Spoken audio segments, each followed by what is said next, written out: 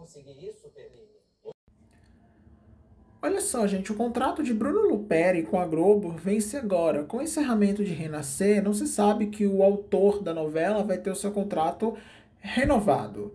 Ah, eu acho que vai ter, né, gente? Porque ele reescreve as obras do avô, né? Que é o Benedito Rui Barbosa, então acho que a Globo, a Globo vai, vai renovar sim. Eu creio eu, né? Nunca, nunca sei de nada. Agora seria bom se ele viesse, né, gente, com uma novela dele. Tem essa tal de Arroz de Palma, que eu até falei aqui que foi cancelada. E já tá desde antes da pandemia que a Globo tá querendo fazer essa novela, até agora nada. Pega essa Arroz de Palma, transforma em uma novela das nove né? Ela tem todos os elementos dessas novelas rural do, do Benedito. Ou então faz como uma novela das seis, que também o Benedito fazia, que dava muito certo.